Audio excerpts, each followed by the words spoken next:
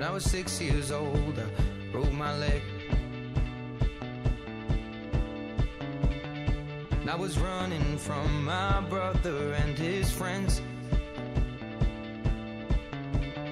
And tasted the sweet perfume of the mountain grass I rolled down. I was younger then. Take me back to when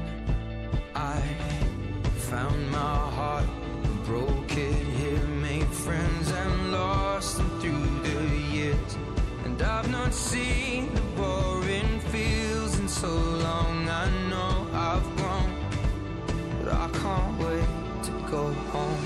I'm on my way, driving at 90 down those country lanes, singing to time.